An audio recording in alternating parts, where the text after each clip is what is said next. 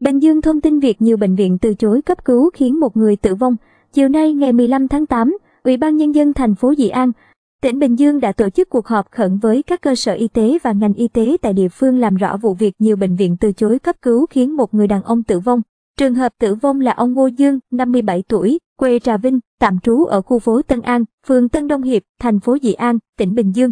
Bệnh nhân bị đột quỵ nhưng khi được chở đến các bệnh viện cấp cứu thì không nơi nào tiếp nhận với lý do quá tải trong phòng chống dịch.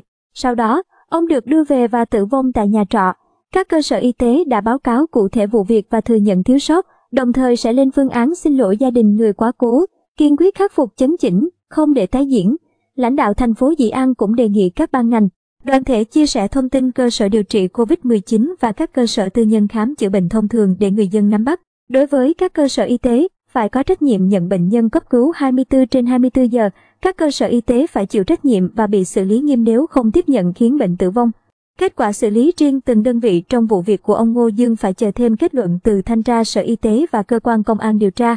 Trước đó, lãnh đạo thành phố Dị An và phường Tân Đông Hiệp đã thăm viếng, chia buồn, hỗ trợ 5 triệu đồng cho thân nhân người mất.